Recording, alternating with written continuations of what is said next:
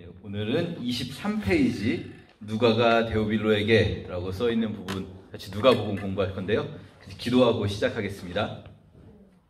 하나님 감사합니다. 어, 주님께서 저희와 함께 해주셔서 저희들 이 추운 날씨에도 하나님 말씀 배우려고 함께 모였습니다. 주님 어, 성경을 사랑하고 성경을 읽고 성경을 살아가는 우리들이 될 수 있게 도와주세요. 함께 하시면 감사합니다. 예수님의 이름으로 기도합니다. 아멘. 예, 저희가 그동안 이제 복음서 여기 지금 그 뭐랄까요 소수 정예만 남은 이런 느낌이네요. 이제 열두 제자에서 이제 열둘보다 이하로 떨어졌습니다. 자, 어쨌든 끝까지 남은 여러분 정말 감사드리고요. 복음서를 그동안 공부를 쭉 하고 있어요. 잠깐 복습을 해보면 마가복음이 있었고요, 그렇죠? 그리고 마태가 다시 썼어요.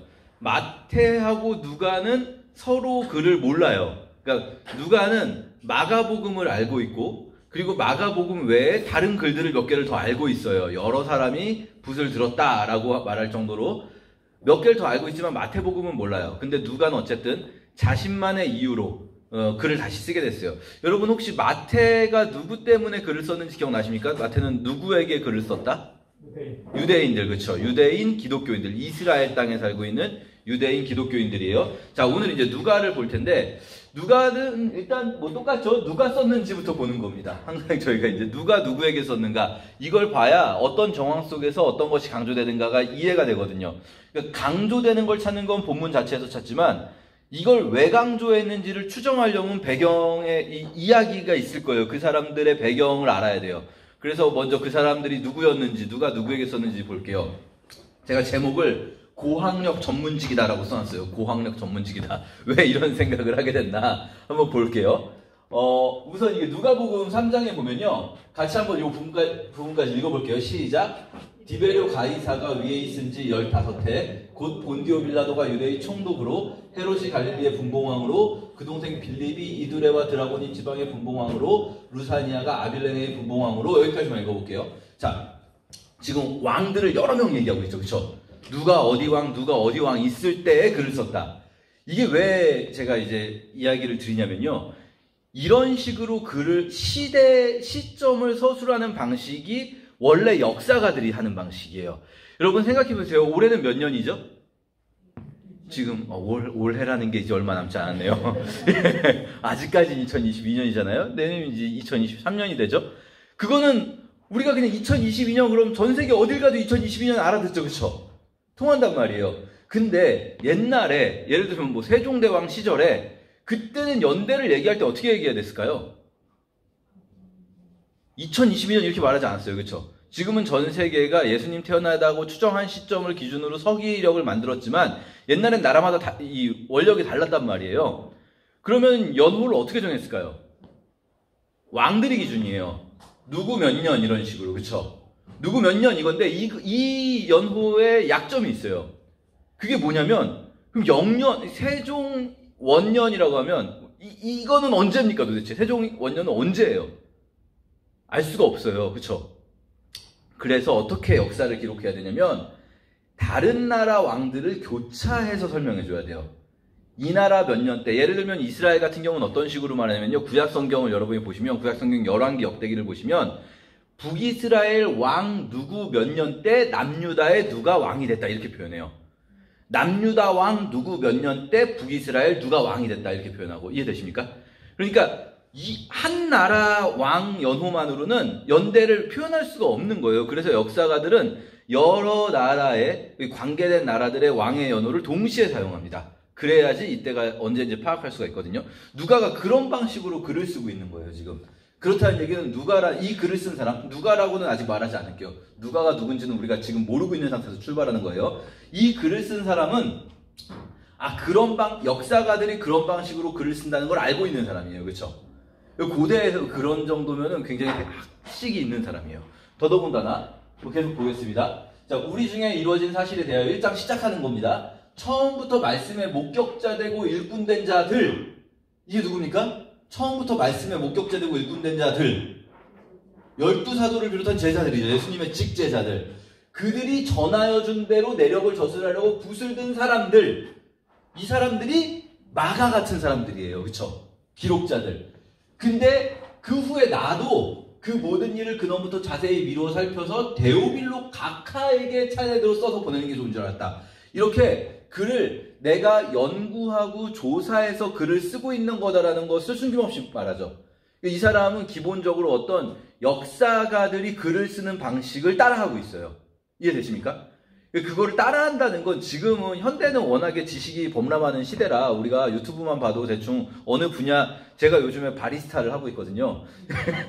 유튜브한테 배울 수 있어요 다. 옛날에는 그렇지 않았어요. 어떤 정보를 얻어서 따라할 수 있는 정도까지 가려면 그 수준의 학식이 쌓여야 되는 거거든요.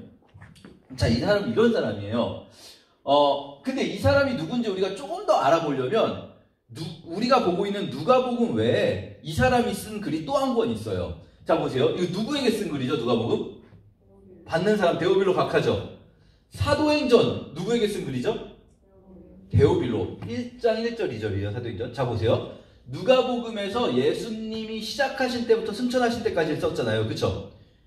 사도행전 1장에 보면 데오빌로요. 내가 먼저 쓴 글에는 무릇 예수께서 행하시며 가르치기 시작하신부터 승천하신 날까지의 일을 기록하느라. 자, 여기 말한 먼저 쓴 글이 뭘까요?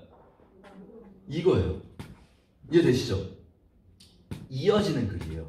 똑같은 데오빌로에게 쓴. 자, 그러면 우리는 누가복음과 사도행전 두 개를 통해서 이, 이 글을 쓴 사람이 누군지를 추정할 수 있는 거예요. 그렇죠? 자, 이 글을 쓴 사람의 특징은요. 우선 이건 이제 계시록은 요한이 쓴 거고 고린도후서는 바울이 쓴 거거든요. 요한이나 바울 이게 신약의 3대 저자라고 그래요. 요한, 바울 누가. 왜냐면 이 세 사람이 제일 많이 썼어요. 요한이 요한복음, 요한 1, 2, 3서 요한계시록 썼고 바울이 바울 서신 엄청 많이 썼고 누가가 사도행전 누가복음 썼는데 분량으로 따지면 누가 제일 길까요? 누가가 제일 길어요. 누가복음 사도행전 두 개가 제일 길어요. 합친, 합친 분량으로 따지면. 자, 근데 요한 같은 경우에 이 상처라는 단어를 플레게라는 단어를 써요. 그리고 바울도 매맞은 상처를 플레게. 자 보세요. 이거는 칼에 잘린 상처거든요. 그걸 플레게라고 쓰고요. 이거는 매맞은 상처거든요. 그러니까 이건 자상이고 이거는 뭐죠? 타박상인가요? 그런 거예요. 어쨌든. 근데 둘 다 플레게라는 일반적인 단어를 쓰는 거예요. 그냥 상처. 이해되시죠? 우리 일반적으로 그렇잖아요. 상처. 근데 누가가 쓴 이 이 우리가 보는 글을 쓴 사람은요. 맞은 자리는 플레게, 요거는 찢어진 자리예요. 찢어진 자리는 트라우마라는 단어를 써요. 그리고 요거는 이 피부가 허른 다, 상처예요. 이거는 엘코올한 단어를 써요. 특히 이 트라우마랑 엘코올하는 이런 단어들은요, 신약 성경에 한 번밖에 안 나오는 단어예요. 이게 성경, 신학적으로 이제 한 번밖에 안 나오는 단어가 굉장히 중요해요. 왜냐면 그거, 그런 단어는 일상 용어가 아니라는 거예요. 이해되십니까? 일상 용어가 아닌 말을 쓰고 있다는 거예요, 이 사람은. 우리식으로 말하면 이런 거예요. 그냥 보통 뭐 다쳤을 때, 아, 뭐 상처가 났어. 이렇게 말하는데, 뭐, 창상을 입었어. 뭐 이렇게 말하는 사람 있잖아요. 그러니까 뭐, 뭐, 아, 머리가 아파서 두통약을 먹었어. 이래야 되는데, 아, 머리가 아파서 아세트 아미노펜 계열의 체열제를 먹었어. 뭐 이렇게 말하는 사람인 거예요. 이해되시죠? 이 사람은 보통 사람들이 쓰지 않는 단어를 굉장히 많이 쓰고 있어요. 이 신약 성경에 한 번밖에 안 나오는 단어가 가장 많이 나오는 내가 누가의 글들이에요. 누가복음 사도행전. 자, 그리고 또 한 가지 이 사람을 추측할 수 있는 또 한 가지 힌트. 제가 지난 시간 지난 시간에도 말씀드렸는데 이 당시 1세기에 꼭 성경 기록자들뿐이 아니라 1세기의 기록 그레코 로만 세계 기록 방식에서 저자 자신이 글에 나와야 될 때는 익명으로 처리한다 말씀드렸었죠. 그렇죠? 익명으로 처리해요. 그러니까 누가 같은 경우도 안 나와요. 본인이. 본인이 자신의 글에 등장하지 않는데 어쩔 수 없이 등장해야만 하는 상황이 있어요. 그게 뭐냐면 문법상 그리스어, 이 헬라어 문법은요. 1인칭, 2인칭, 3인칭 단수 복수가 정확히 표현돼야죠. 동사를 쓸 때. 동사의 변형을 해줘야 되거든요. 이해, 이해 되십니까? 무슨 말인지? 그러니까 그들이 같다랑 우리가 같다가 다른 단어를 써야 돼요. 쓸 때. 근데 자 보세요. 사도행전 16장까지는요. 바울 전도팀을 표현할 때 뭐라고 하냐면 그들이에요. 그들. 이게 지금 바울 전도팀 얘기하는 거예요. 바울 전도팀이 무시아를 지나 드로아. 드로아가 트로이거든요. 트로이라는 도시 아십니까? 트로이. 터키에 있는. 트로이로 갔어요. 근데 8절에서 그들이었는데 10절부터 갑자기 뭐가 바뀝니까? 우리로 바뀌어요. 우리로. 이건 실제로 우리라는 그 대명사가 들어있는 게 아니라 동사 형태가 바뀐 거예요. 3인칭 복수형에서 1인칭 복수형으로. 이해되십니까? 그 얘기는 뭐냐? 이 사람이 트로이에서부터 바울 전도팀에 합류한 거예요. 이해되십니까? 이 글을 쓴 사람 본인이 바울 전도팀의 일원이었다는 거예요. 그래서 사도행전을 보다 보면요. 이게 우리 구분이라고 해서 주어가 우리가 되는 부분이 세 부분이 있어요. 트로이에서부터 마게도냐까지 우리로 가다가 다시 그들로 바뀌어요. 그 얘기는 뭐냐? 이 사람은 트로이에서 빌립보까지 바울전도 팀에 동행했다가 빌립보에서 떨어져 나갔어요. 그랬다가 나중에 고린도에서부터 다시 우리로 바뀌어요. 그 말은 이 사람이 다시 고린도에서부터 합류한 거예요. 이해되시죠? 자, 아, 이 사람은 바울전도팀의 일원이에요. 근데 그거 안다고 어떻게 할 수 있어요, 이 사람? 왜냐면 사도행전에 안 나오잖아요, 이 사람 이름이. 우리는 거꾸로 생각할 수 있어요.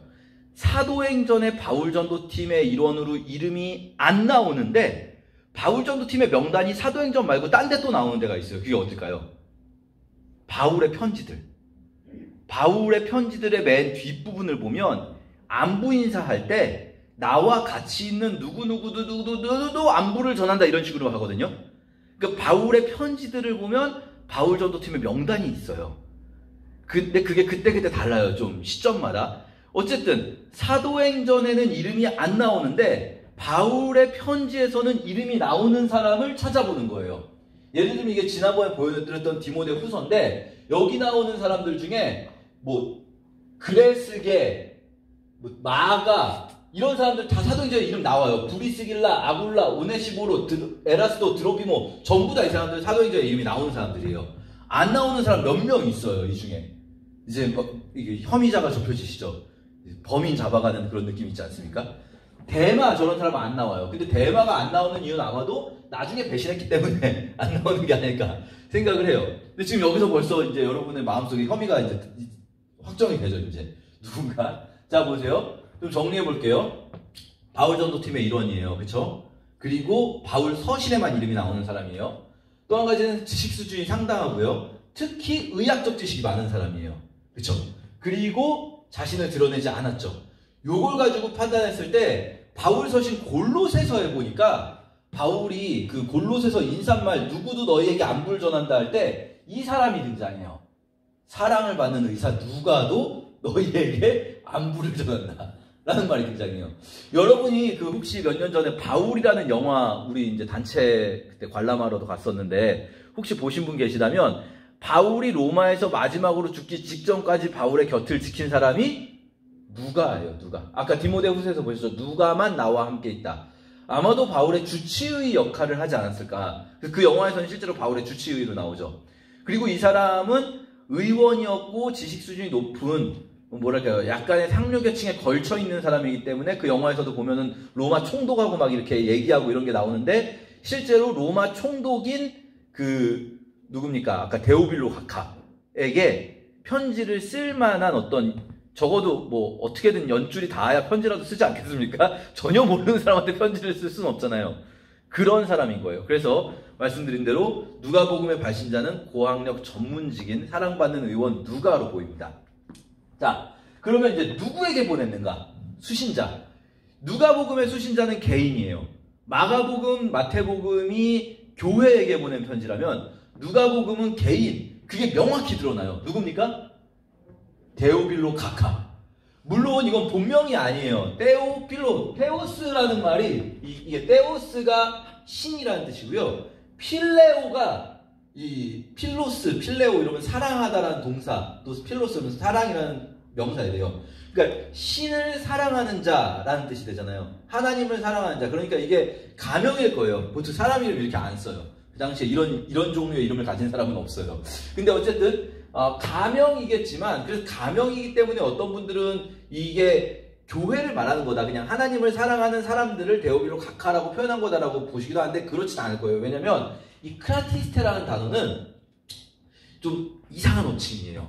이 크라티스테 테오필레라고 이렇게 나와 있는데 크라티스테를 뭐라고 번역할까 고민을 많이 하셨을 거예요. 이게 뭐냐면 어떤 지위를 얘기하는 말이 아니고요. 사람 부를 때 쓰는 호칭이 있잖아요. 우리 같은 경우에 뭐, 뭐, 집사님, 이렇게 호칭처럼 부르죠. 원래 지위인데, 이거는. 근데 뭐, 누구누구 님, 이렇게 부르잖아요. 그렇죠. 누구누구 님. 이 이름 뒤에 붙이는, 이름 앞에 붙이는 호칭이거든요. 크라티스테를 뭘로 번역할까 고민했는데 크라티스테가 어떤 수준에서 붙이는 사람들이냐면요. 총독 벨릭스 가카, 벨릭스 가카요. 베스도 가카요. 할 때 이 사람들 전부 총독들이에요. 총독. 총독 이상급 되는 고위 관리들한테 붙이는 그 호칭, 부를 때 그냥 부르지 못하는 그 고위 관리들 그렇잖아요. 그래서 이 크라티스테라는 게 붙는데 한글로 번역하신 분들이 고민하다가 총독이 어느 정도 급이냐면요, 여러분. 한 나라 수준을 다스리는 사람이에요. 조선을 다스린 사람이 누굽니까? 조선 총독부잖아요. 그쵸? 여러분 뭐 데라우치 마사다케 뭐 이런 아십니까? 이토 히로부미. 이토 히로부미는 엄밀히 말하면 총독부 생기기 전에 통감부였어요. 시절에 일대 통감이죠. 어쨌든 이 3일절이 다가오고 있어요, 여러분. 어쨌든 그 총독 그러면 한 나라의 왕급이거든요. 식민지의 왕. 그러니까 총독들한테 붙이는 호칭을 뭐로 번역할까 고민하다가 한글 번역하신 분들이 각하라고 번역을 한 거예요. 각하. κράτιστε를. 그러면 이게 데오빌로 각하가 그냥 이게 그냥 교인들 얘기하는 거였으면 κράτιστε라는 호칭은 너무 너무 부적절하고 이게 이상한 호칭이 돼요. 이거 분명히 본인이었을 거예요. 본인. 개인인데 실명을 거론하지 않기 위해 기독교에 대한 이미지가 좋지 않으니까 실명을 거론하지 않기 위해 이렇게 뭐랄까요 교회 안에서만 쓰는 별명이 있는 사람인 거죠 그 사람이 그런 일들이 사실은 그 시대에 몇 명 있습니다 어쨌든 이 사람은요 어, 데오빌로 가카에 대해서 우리가 알 수 있는 거는 첫째 고위 관료예요 총독 이상 되는 고위 관료고요 둘째 그렇다면 이 사람은 유대인이 아니라 이방인이에요 어, 총, 왜냐면 총독 이상 되는 고위 관료 유대인이 없어요 단 1세기에 아무리 뒤져봐도 그리고 셋째 부유했을 거예요. 그렇죠? 어, 부유한 이방인 고위 관료인 데오빌로에게 보낸 편지예요. 이해되시죠? 자, 요 배경을 깔고 우리가 누가복음을 봐야 돼요. 누가복음은 누가라는 이 바울 전도팀의 일원이자 의사이고 나름 상당한 지식 수준이 있는데 그거를 교회를 위해 활용한 사실은요, 뭐 누가뿐 아니라 마가, 마태, 누가 다 굉장히 지식 수준이 높은 사람들이에요. 그러니까 재밌는 게 어, 1세기 당시에 활동가가 베드로 같은 사람이 활동가였다면 여러분 마가는 부잣집 아들이죠. 어려서부터 유학한. 마태는 세리예요. 그러니까 세무 공무원이에요. 누가 의사죠. 그러니까 지식인들이에요. 이 사람들은 사실은 이런 사람들은 글을 남긴 거예요. 베드로가 활동가였다면. 자 어쨌든 그 중에서도 탁월한 지식인입니다. 누가는. 자, 이 사람이 어떤 편지를 썼는가? 어떤 걸 강조하는지 볼게요. 누가 특수자료. 그러니까 말씀드렸죠? 마태복음이나 마가복음하고 겹치지 않고 누가복음에만 있는 누가복음에만 있는 표현들의 강조점을 좀 살펴볼게요. 그것들을 쭉 분류해 빼내 보니까 이런 특징이 발견돼요. 첫째는 복음이 온 세상을 향한 거라는 거예요. 마태복음에서 나왔던 말이 뭐냐면 내가 이스라엘의 잃어버린 자들을 위해 왔다라고 하시면서 이방인 여인에게 이렇게 막 이렇게 하는 그게 나오는데 누가복음은 온 세상을 향한 복음이에요. 자 보세요. 만민 앞에 예비하신 것이고 이방을 비추는 빛이에요. 이해되십니까? 이런 표현들은 누가복음에만 나오는 표현이에요. 예수님의 탄생을 이렇게 표현한 거예요. 만민 앞에 빛이 비춘다. 모든 육체가 하나님의 구원을 본다. 그러니까 이스라엘만이 아니에요. 모든 육체가 하나님의 구원을 볼 것이고 그리고 예수 그리스도가 말씀을 전하시는데 그 말씀을 누가 들었냐? 이스라엘 니네들 안 들어먹지 하시면서 하시는 말씀이요. 이스라엘 니네들은 안 들어먹는데 구약 때도 마찬가지였다. 시돈 땅, 시돈 이제 레바논 지역이거든요. 이방이요. 이방 지역에 있는 사렙다 과부만 말 들었고 수리아, 시리아요, 시리아. 시리아 사람 나만 장군이 나만 장군 여러분 기억하십니까? 그 왜 엘리사한테 찾아온 문둥병 걸린 장군이 있었어요. 물에 이렇게 일곱 번 들어갔다 나오면 문둥병 고쳐진다 했던 이방 사람이에요. 이방 사람. 이런 사람들이 오히려 선지자의 말을 잘 들었다. 이스라엘 니네들은 안 듣고 이런 말씀을 예수님이 하셨다는 거예요. 그래서 아, 복음은 온 세상을 향해 나간다. 왜 이 부분이 강조될까요, 여러분? 누구에게 보내는 편지죠? 데오빌로 가카. 데오빌로 가카 유대인입니까? 이방인이죠. 여러분 이걸 연결해서 생각하셔야 돼요. 지금 계속 계속 데오빌로 가카 생각하시면서 보셔야 돼요. 자, 두 번째 강조점 있어요. 성령과 기도가 엄청 강조돼요. 그러니까 등장인물들이 뭐만 툭 하면 성령 충만해요. 여러분 이게 되게 그 어, 너무 당연한 거 아니에요 싶지만 마태복음이나 마가복음에는 그렇게 강조되지 않아요 그 부분이. 예를 들어 누가 어떤 일을 할 때 그 사람이 성령 충만해서 그 일을 했다라고 쓰지 않아요. 왜 그럴까요? 아니, 당연하니까요. 당연한 거잖아요. 그것도 뭐 쓰는 것도 한두 번이지 어떻게 계속 씁니까? 등장인물마다 계속 쓸 수는 없잖아요. 그렇죠? 그러니까 이거 뭐랑 똑같냐면 우리가 일기 쓸 때요, 여러분. 아침밥 뭐 먹었다, 점심밥 뭐 먹었다 씁니까? 저희 애들은 지금 쓰고 있어요. 초등학교 1학년인데 그거 아니면 쓸 말이 없나 봐요. 근데 근데 이 반복되는 건 안 쓰는 거잖아요. 그러니까 마가나 마태는 그게 강조되지 않아요. 근데요, 누가복음 1장만 볼게요. 1장 등장인물들이에요. 먼저 15절에 세례 요한이 침례 요한이 아기가 엄마 뱃속에서 모태로부터 엄마 아직 임신 중이에요. 임신 중인데 성령 충만했어요. 그리고 35절에 마리아 마리아가 또 성령 충만해지고요. 이 침례 요한의 엄마 엘리사벳이 성령 충만해지고요. 침례 요한의 아빠 사가랴가 성령 충만해져요. 등장인물 전원 성령 충만해졌어요.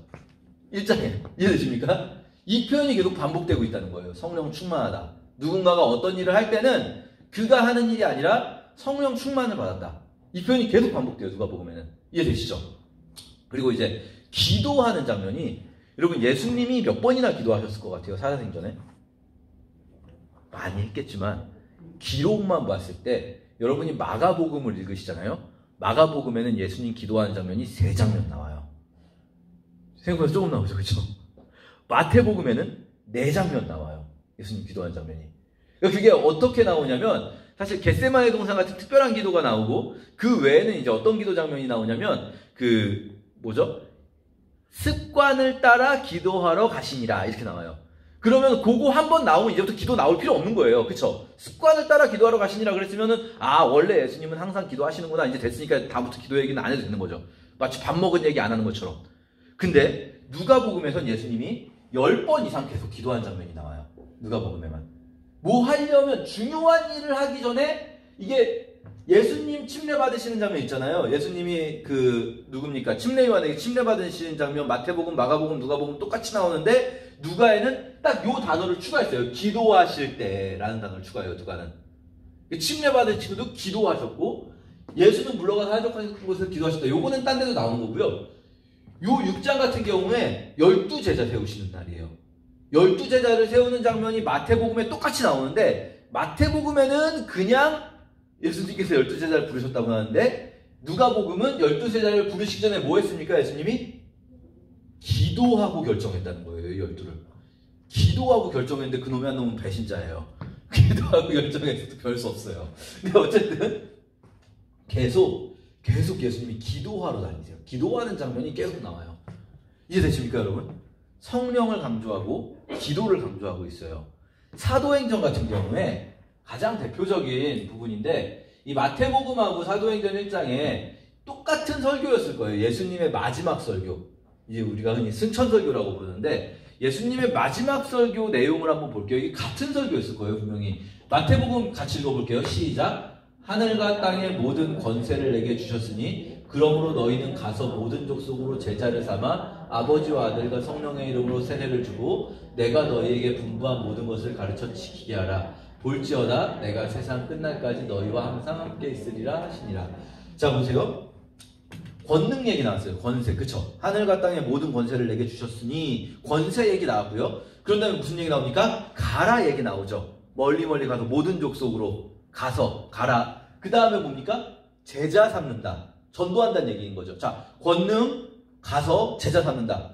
이거 요약하면 이거예요. 이 설교를 예수님이 이제 마지막으로 하신 건데 제자들에게 근데 예수님이 설교를 이렇게 짧게 하셨을까요? 그렇지 않을 거예요. 예수님 설교 막 한 시간 막 이렇게 했을 수도 있어요.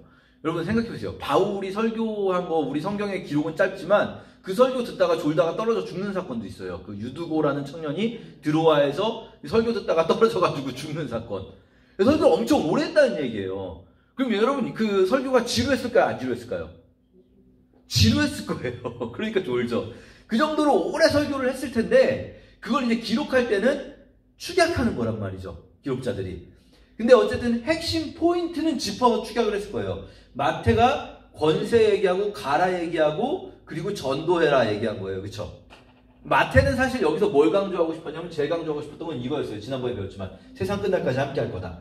자 보세요. 똑같은 말씀을 사도행전 1장 8절 오직 성령이 너희에게 임하시면 너희가 권능을 받고 권능 얘기 나오죠. 예루살렘과 온유대와 사마리아 땅끝까지 이르러 멀리 멀리 가라 얘기 나오죠. 내 증인이 되라 전도해라 얘기 나오죠. 그쵸? 똑같죠? 이게 같은 설교였을 거예요. 아마도. 근데 둘이 다르게 요약해 놓은 거예요. 다르게 요약하는 게 자연스럽고 당연한 얘기죠. 근데 강조점이 달라요.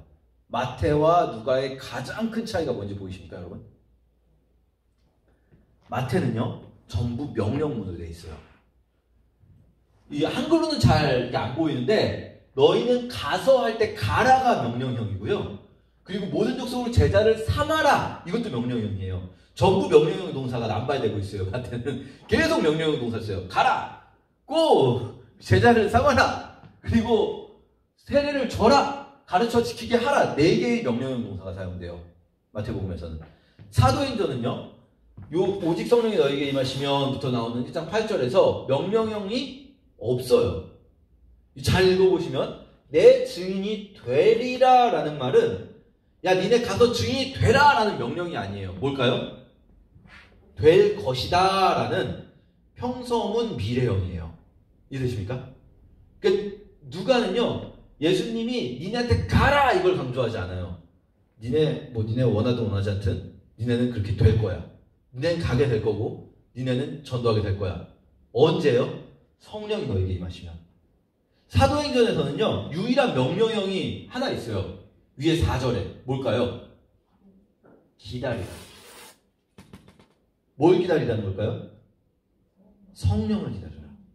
성령을 기다려라. 그러면 성령이 너에게 임하시면 이런 이런 일이 일어날 것이다. 라고 말하는 거예요. 이해되십니까?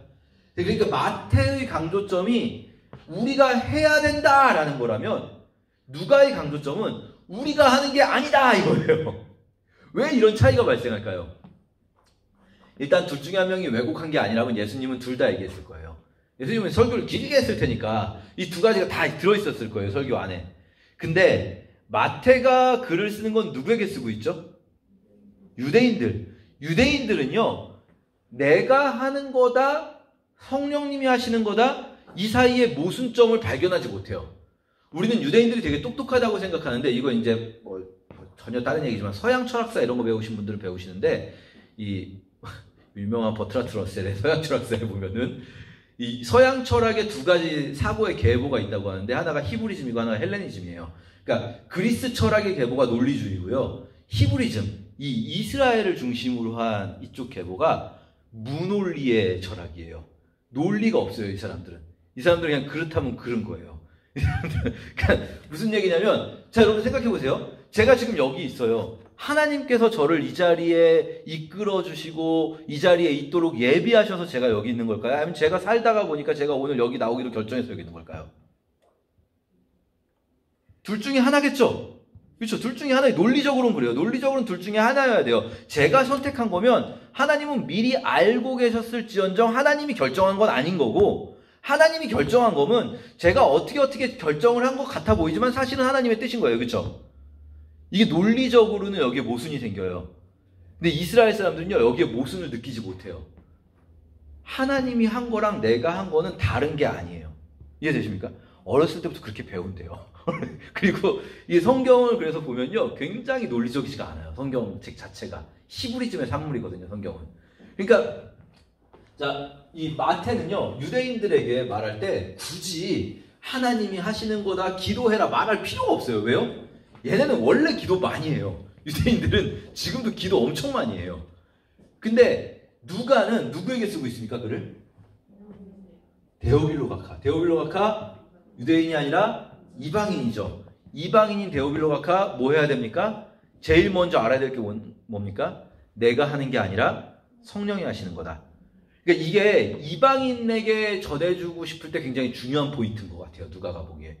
우리도 사실은 이방인의 영역에 속하는 사람들이에요, 사실은. 그러니까 어려서부터 우리가 무슨 뭐 유대인 교육을 받고 여러분 어려서부터 토라를 암송하고 그러지 않으셨잖아요. 그렇다면 우리에게도 마찬가지로 이 관점이 되게 중요해요. 그러니까 내가 하는 겁니까? 아니죠. 하나님이 하시는 거죠. 내가 할 일은 뭡니까? 기도와 성령 충만을 받는 거죠. 그렇죠? 근데 그렇다면 내가 안 하는 건가요? 아니에요. 또 내가 하라는 거예요. 또 한테는 또. 이해되시죠? 여러분 우리 하는 거예요. 근데 또 우리가 하는 게 아니다. 이 말의 이 논리적인 모순을 그냥 받아들이고 살아가야 되는 거예요. 그게 성경이에요. 그러니까 기본적으로 히브리즘의 세계관은 욥기가 그걸 잘 보여주는데 세상은 논리적이지 않다라는 거예요. 여러분 그 욥기에 보면 욥이 원래 지혜자잖아요. 욥이 그렇게 나와요. 동방의 지혜자라고 나오는데 이 지혜자라는 말이 당시에 그냥 이 사람 똑똑해라는 말이 아니라 일종의 그 직업 비슷하게 지혜자라고 불리는 사람들이 있었어요. 고대 메소포타미아 지역에. 그러니까 지혜자들이 이제 말하자면은 뭐 사람들에게 상담도 해주고 뭘 알려주는 거죠. 욥도 지혜자고 욥의 친구들도 지혜자들이에요.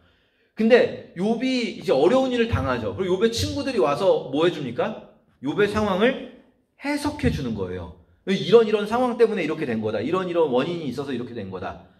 근데 그 친구들의 말이 하나도 안 맞죠, 그렇죠? 하나도 안 맞아요. 욥의 상황에 대한 설명이 안 되죠. 그러면은 결국 욥기가 끝날 때쯤에는 왜 그런 일이 벌어졌는지 설명이 될까요? 끝까지 설명이 안 돼요. 그러니까 히브리즘이 말하는 지혜자는요, 세상을 논리적으로 설명해 줄 수 있는 사람이 아니에요. 지혜자는 누굽니까? 세상이 논리적이지 않다는 것을 받아들이고 살아내는 사람이에요. 이해되십니까? 세상이 그렇게 논리적이지 않다. 이게 히브리즘의 특징이에요. 그러니까, 어, 어쨌든, 누가는 지금 데오빌로한테 마치 새가족 교육처럼 기초교육을 하고 있어요. 당신이 하는 거 아니다. 이거부터 배우자. 당신이 하는 거 아니다. 당신이 뭘 하든 당신이 하는 게 아니다. 자, 그럼 당신이 뭘 해야 될지가 중요하겠죠. 누가복음은요. 사실은 3번이 제일 중요해요. 3번이 어마어마하게 강조돼요. 누가 특수절에서 엄청 많은 분량을 차지하고 있어요. 3번이 뭐냐면 해방의 복음이라는 거예요. 어, 우리가 이제 해방이라는 말을 요즘엔 잘 안 써요. 옛날에는 이제 해방이라는 말을 많이 썼는데 해방의 복음이라는 말좀 바꿔 말하면 소외된 자들이 또 갇혀 있는 자들을 풀어준다라는 말이잖아요. 갇혀 있는 자들을 풀어주는 복음이에요. 자, 그게 어떻게 어, 누가복음에 서술되는지 잠깐 보도록 할게요. 갇혀 있는 자들 혹은 소외된 자들이라고 할 때 여러 부류가 등장해요. 첫 번째 부류가 사마리아인들이에요. 유대인들이 사마리아인 미워하는 거 말씀드렸었죠. 저희가 이제 그 중간사 배울 때 기억나십니까? 사마리아인과 유대인 사이가 엄청나게 그 사이가 안 좋았어요. 그냥 이방인보다 훨씬 안 좋아요. 사마리아인들은. 근데 누가복음에만 사마리아인이 강조돼요. 물론 요한도 나중에 사마리아 여인 이야기를 첨가하긴 해요. 요한 요한복음에 사마리아 여인 이야기 그 외에 물 들어온 여인, 여인 있잖아요. 그 얘기 있긴 하지만 나머지 사마리아인이 성경에 나왔다. 그럼 여러분 10중 8구는 누가복음이다 맞아요. 누가복음에만 나오는 사건들. 야고보와 요한을 혼내신 사건은 뭐냐면 이렇게 예수님이 사마리아 땅으로 지나가는데 사마리아인들이 못 가게 막은 거예요. 그러니까 야고보랑 요한이 어, 예수님 불을 내려서 죽여버릴까요? 막 이래요. 그러니까 얘네들이 아주 그냥 정신이 나갔어요. 그러니까 예수님이 야고보와 요한을 혼내셔요.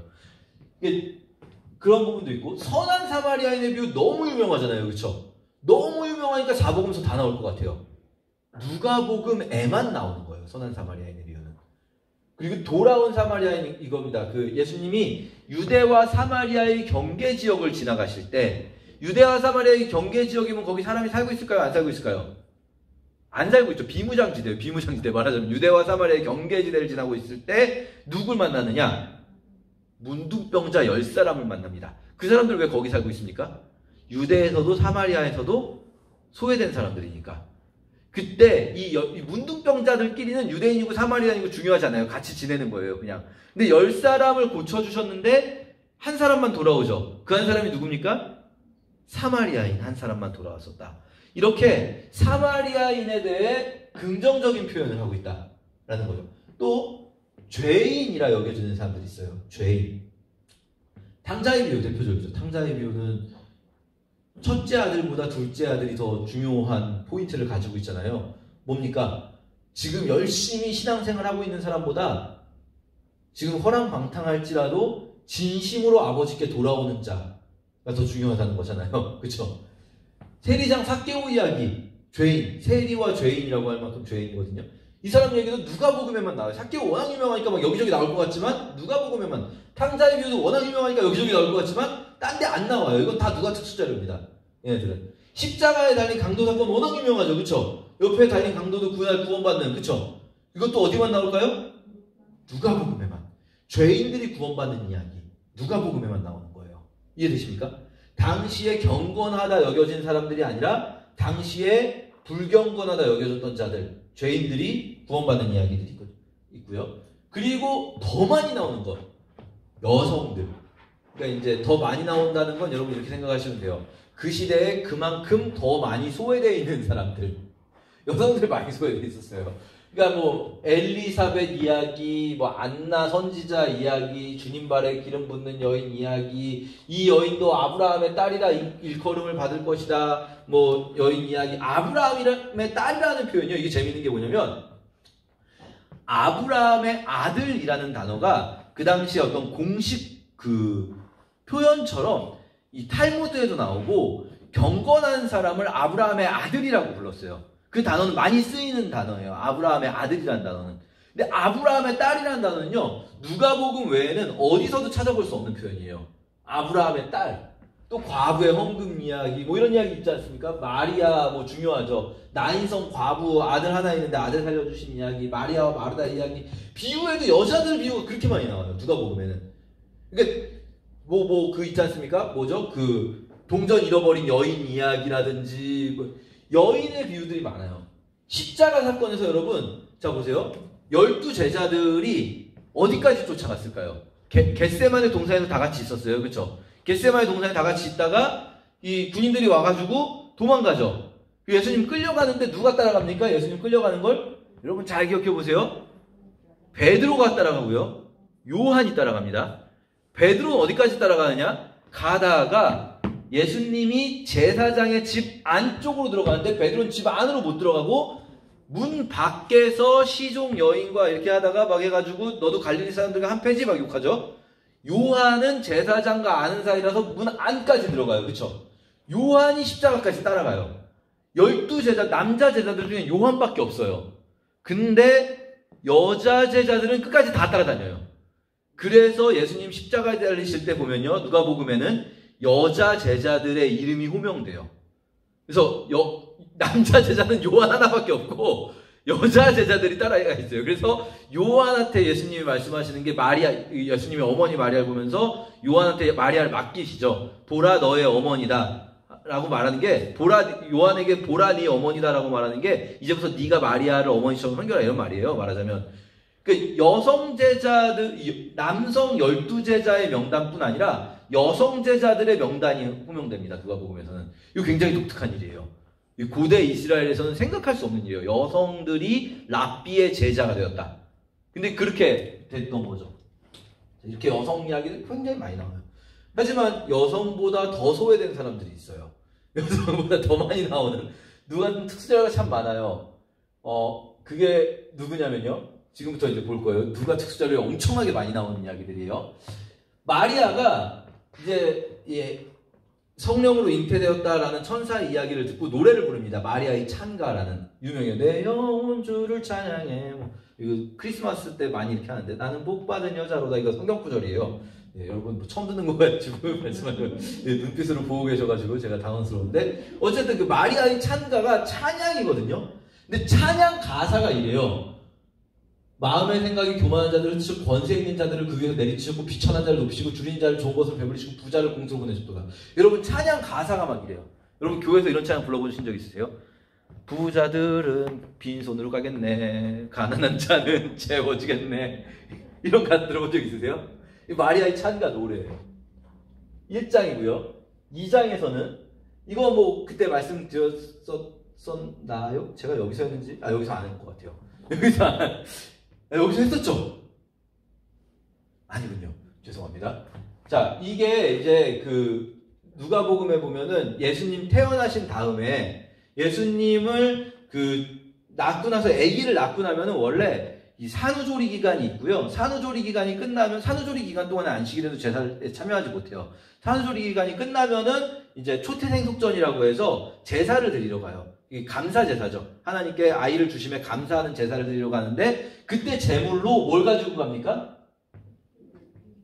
율법에 쓴 대로 뭘 가지고 갑니까? 제물? 비둘기 한 쌍. 비둘기 두 마리. 그쵸? 비둘기 한 쌍이나 어린 방구라는 말도 이게 원래 이제 뭐 구약에선 집비둘기, 산비둘기 이렇게 번역됐는데 사실은 이제 비둘기 종류예요. 비둘기 종류. 비둘기 두 마리예요. 비둘기 두 마리. 그쵸? 근데 자 보세요. 이게 모세의 율법에 이렇게 쓰였다는 거 아니에요? 이 율법을 볼게요. 레위기 12장에 자녀가 정결케 되는 기간이 차거든 그 여인이 번제를 위해서 뭘 가지고 갑니까? 양, 속죄제를 위해서 집비둘기나 산비둘기 이게 위에 나온 비둘기나 반구라고 번역된 거거든요. 집비둘기나 산비둘기를 가져가래요. 자 그러면 원래는 재물이 뭡니까? 양 한 마리, 비둘기 한 마리예요. 근데 마리아는 어떻게 가져가죠? 비둘기 두 마리. 왜 이런 차이가 있을까요? 여기 보시면 부속 규정에 그 여인의 힘이 어린 양에 미치지 못하거든. 즉, 여인이 어린 양을 살 돈이 없으면 산비둘기든 집비둘기든 한마디로 비둘기를 잡아다가라도 비둘기 두 마리로 할 수 있다는 거예요. 이해되십니까? 마리안의 집은 양을 살 만큼 부유했습니까? 가난했습니까? 가난했다는 거예요. 마리아는. 여러분 이 성화 같은 거 보면 예수님 태어나실 때 마리아 얼굴이 쎄하해가지고 막 엄청 고귀하게 생겼거든요. 다 잘못 그린 거예요. 마리아 얼굴 까무잡잡 해가지고 중동에서 막, 막, 막 집안일 하면서 막 고, 노가다 하면서 살았을 거예요. 마리아가 가난했어요. 여러분 예수님의 탄생을 제일 먼저 만난 게 누가 복음엔 누굽니까? 목자들. 마태복음에는 동방 박사들. 목자들 여러분 생각해 보세요. 한밤에 양치던 목자들 우리는 되게 막 이거를 그 막그 그 뭐랄까 로맨틱하게 생각해요. 한밤에 양치던 목자들 아, 막 얼어 죽어요, 여러분. 진짜 여러분 지금도 추우시죠?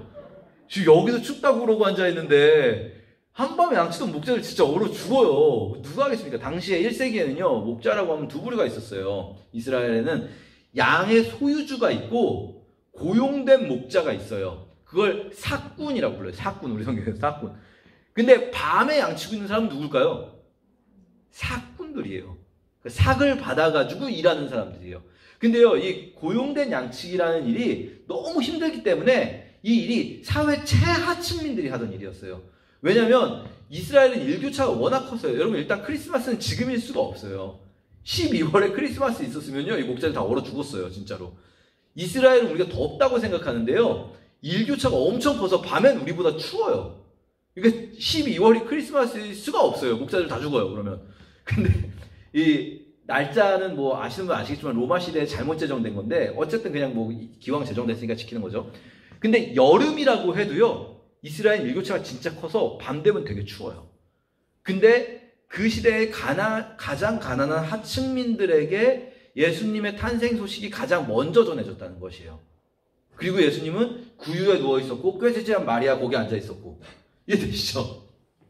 자, 이게 3장에 제가 지금 1, 2, 3장만 보여드리는데 3장에 보면 이게 세례 요한이 선포를 하는 거예요. 침례 요한이. 근데 이 세례 요한이 선포를 할 때 마태복음, 마가복음, 누가복음이 겹쳐요. 내용이. 근데 마태복음은 어디서 끝나냐면 이 독사의 자식들아 누가 너희를 일컬어 뭐야 회개에 합당한 열매를 맺기 전에는 오지 마라 라고 말씀하시는 것까지는 마태복음 누가복음이 같아요.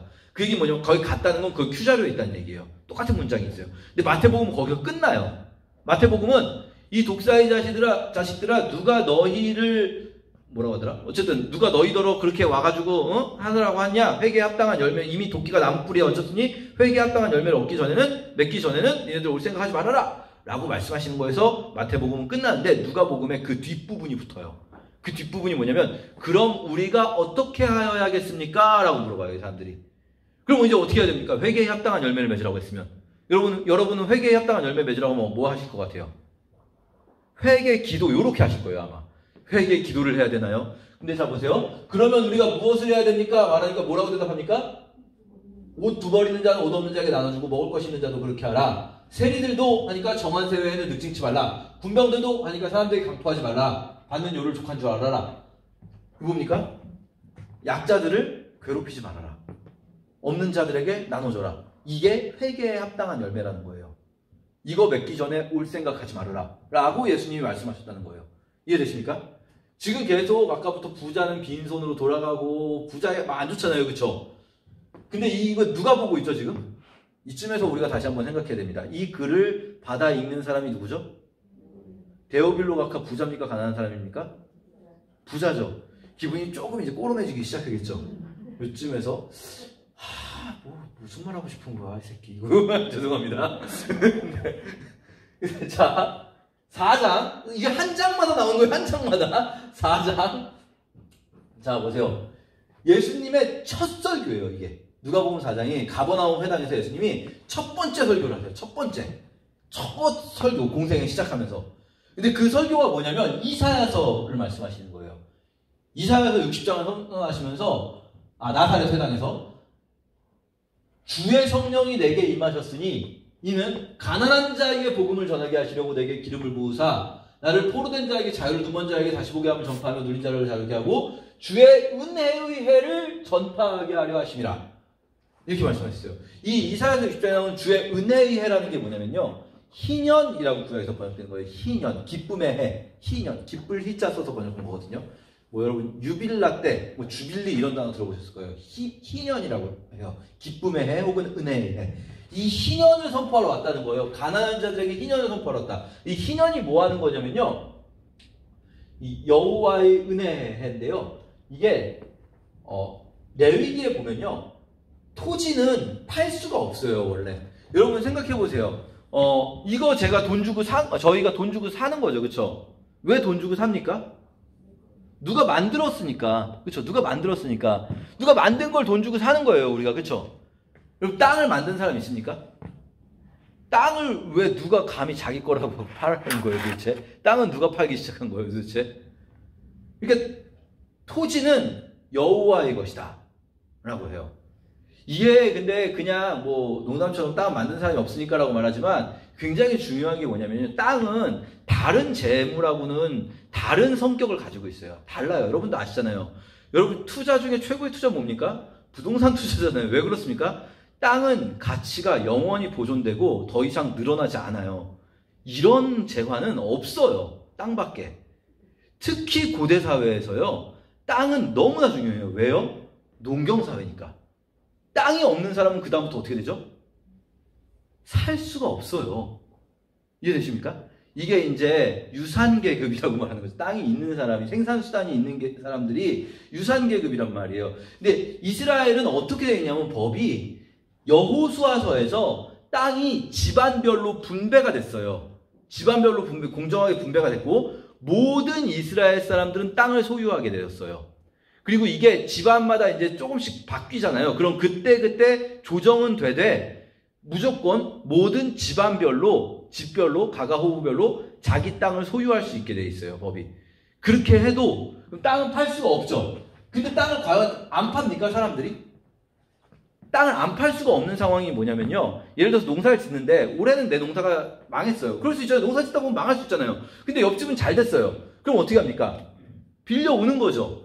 어, 좀 빌려줘. 내년에 농사 지어서 갚을게. 근데 살다 보면 그럴 수 있잖아요. 올해, 다, 내년에 또 망했어요. 또 잘 됐어요. 어, 어떻게 합니까? 또 빌려오면서, 아, 또 갚을게. 했죠. 막 이것저것 다 주다가 보면 갚을 게 없어지면 어떻게 합니까? 마지막에 나에게 남아있는 건 땅밖에 없죠. 그쵸? 땅을 팔 수밖에 없는 상황들이 있어요. 그러면 이 토지를 영영이 팔지 못한다는 말은요, 팔 매매 금지라는 뜻이 아니라 영구 매매가 금지된다는 거예요. 이해되십니까? 그 영구 매매가 금지가 되면 어떻게 되는가? 제 50년을 거룩하게 하여서요. 그러니까 7일에 한 번씩 오, Oh my God. 여러분 7일에 한 번씩 뭐가 있죠? 모, 모르십니까 혹시? 7일에 한 번씩 구약시대 안식일이 있죠. 안식일에는 쉬죠. 노동력이 쉽니다. 노예와 동물들도 쉽니다. 7년에 한 번씩 뭐가 있을까요? 안식년이 있죠. 안식년에 뭐가 있을까요? 땅이 쉽니다.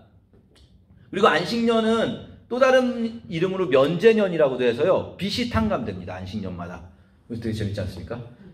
여러분 빚지셔도 7년 지나면 없어지는 거예요. 안식년의 면제 규례가 시행된 적이 있을까요? 이스라엘에서? 없어요. 좋아할 일이 아니에요. 되게 웃기죠. 똑같이 레위기 25장에 안식일, 안식년, 희년 규례가 레위기 25장에 같이 나와 있어요. 안식일은 그렇게 미친 듯이 지켜갔던 이스라엘 사람들이요. 안식년 희년은 지키질 않아요. 결국은 왜 지키는지 빤히 보이지 않습니까? 자기들 손해볼 짓을 하지 않는 거예요. 근데 어쨌든 안식년에는 빚이 면제되고 빚이 탕감되고 노예가 해방돼요. 그리고 비탕감 노예 해방보다 더 중요한 게 땅의 회복이에요. 땅의 회복. 부동산 문제가 모든 경제 문제의 근원이라고 할 수 있어요, 사실은. 근데 땅이 어, 여러분 생각해 보세요. 우리는 지금 빈부격차 현대 사회 빈부격차가 너무 심해 이러죠.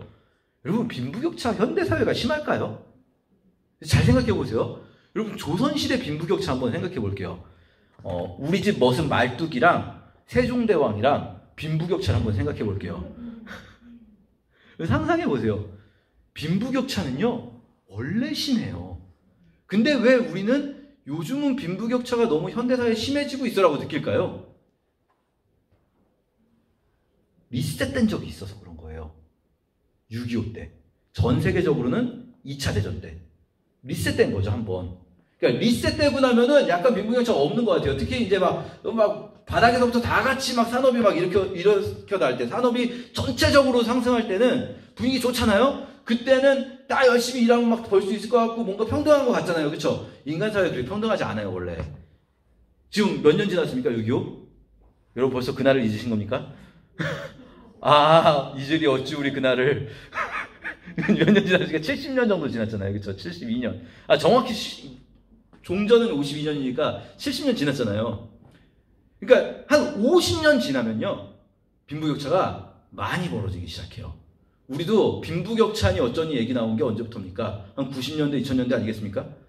50년 정도 지나면 빈부격차가 쫙 벌어지기 시작해요. 그럼 사회가 불안정해져요. 성경의 이 구약의 해답은 뭐냐면 희년제도예요. 그러니까 안식년이 일곱 번 지나면 일곱 번째 안식년이 맞춰지는 해가 딱 지나는 그 첫째 날 1월 1일에 희년을 선포해요. 전국적으로 나팔을 불면서 이제 여호와의 기쁨의 해다. 그럼 무슨 일이 벌어질까요? 너희에게 희년인데 자기가 무를 힘이 없으면 그 판 것, 땅 판 것이 희년이 이르기까지만 산자의 손에 있다가 이 산자는 살아있는 자를 말하는 게 아니라 구매한 자를 얘기하는 거예요. 희년에 미쳐, 미쳤다는 말이 아니라 희년이 되면 돌아온다. 무슨 말인지 아시겠죠? 땅이 원래 주인에게 다 돌아가는 거예요. 사회 전체가 리셋되는 거예요. 쉽게 말하면 이 구약의 개념은 7일에 한 번씩 노동력이 리셋되고 7년에 한 번씩 사람과 땅이 그러니까 빚과 노, 예와 그리고 땅이 쉬고 7년이 7바퀴 돌아가는 49년이 지나 50년째, 50년에 한 번씩 사회 전체가 리셋되는 거예요. 이게 희년의 개념이에요. 이게 이루어진 적이 있을까요? 단 한 번도 없어요.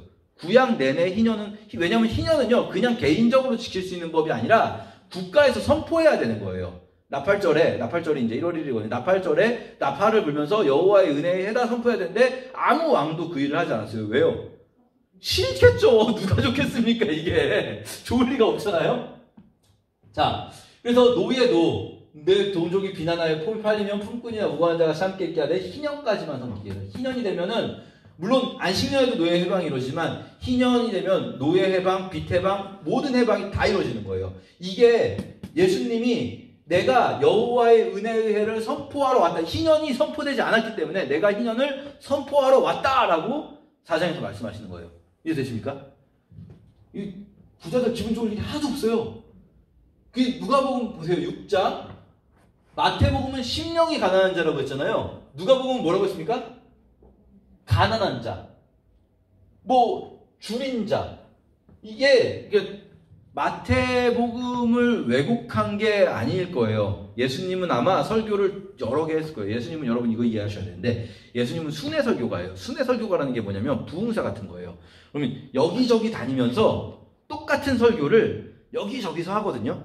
근데 이제 할 때마다 조금씩 뭔가가 바뀌죠. 저도 이 똑같은 걸, 이 PPT가 이제 만들어진 지 10년 가까이 되는 것 같은데, 이게, 저도 이 똑같은 걸 지금 몇 번째 하고 있는 거예요.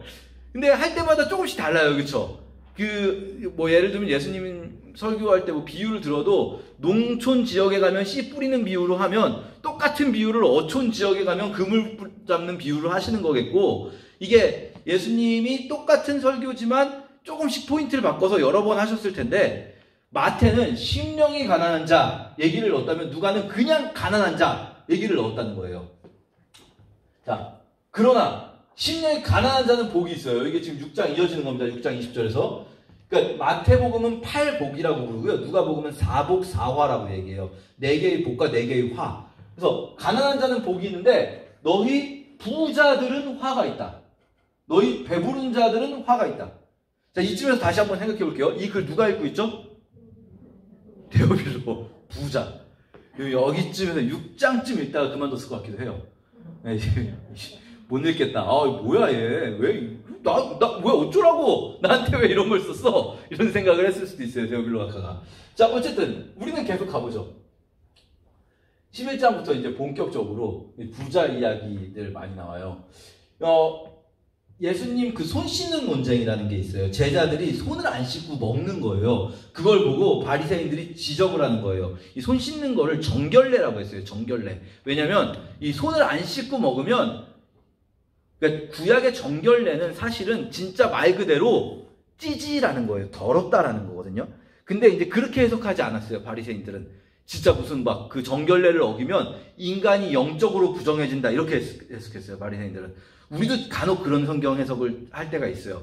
이 성경이 그냥 정말 있는 그대로 얘기한 걸 과도하게 영적인 의미를 부여해가지고 막 인간이 부정해진다, 뭐 영이, 영혼이 더러워진다. 근데 이제 바리새인들은 그렇게 생각했어요. 정결에 손을 안 씻고 먹으면 더러워진다. 그 제자들이 손을 안 씻고 먹은 거예요. 거기에 대해서 이 사건이 마태, 마가, 누가에 다 나오는데 마태, 마가하고 누가가 포인트가 달라요. 마태, 마가에는 어떤 얘기가 나오냐면요. 손을 안 씻고 먹으니까 막 바리새인들이 뭐라고 해요. 그러니까 예수님이 뭐라고 하냐면 이렇게 대답하세요. 사람이 입으로 들어가는 것이 사람을 더럽게 하는 것이 아니라 마음에 가득 차서 입으로 나오는 것이 사람을 더럽게 한다라고 말씀하세요. 자, 이게 무슨 얘기입니까? 음식이 우리 영혼을 더럽게 하는 게 아니라 우리 영혼을 더럽히는 걸 뭐라고요? 말이라는 거예요. 말. 마음에 가득 차서 입으로 나오는 거. 그러니까 바리새인들 말하지 말라는 거예요. 니네 니네 말이 문제야 이놈들아. 이렇게 얘기하고 있는 거예요. 말만 잘하는 놈들. 근데 어쨌든 어, 마태복음과 마가복음의 강조점은 무엇이 사람을 더럽게 하는가예요. 이해되십니까? 무엇이 사람을 더럽게 하는가? 맨손, 안 씻은 손으로 먹는 게 더럽게 하는 게 아니다. 아, 저희 아내가 이걸 좀 알아줬으면 좋겠어요. 맨날 저보고 손안 씻는다고 이 바리새인 같이 그냥 뭐라고 하는데, 진짜 바리새인이에요. 손 안 씻고 먹어도 된다고 예수님 말씀하셨는데. 자, 어쨌든, 누가복음은요, 무엇이 사람을 깨끗하게 하는가에 초점이 있어요. 똑같은 사건인데 예수님께서 둘 다 말씀하셨을 거예요 아마. 근데 안 씻은 손으로 먹는 게 사람을 더럽히는 게 아니고요. 그럼 손을 씻는 게 사람을 깨끗하게 하는 게 아니라 무엇이 사람을 깨끗하게 합니까? 자 너희 바리새인은 지금 장과 대답의 겉은 깨끗이 하나 너희 속인지 탐욕과 악독이 가득하도다 어리석은 자들아 밥을 만드시기가 속도 만들지 않았느냐 같이 한번 읽어보겠습니다 시작 오직 그 안에 있는 것으로 구제하라 그리하면 모든 것이 너희에게 깨끗하리라 뭐 하라고요?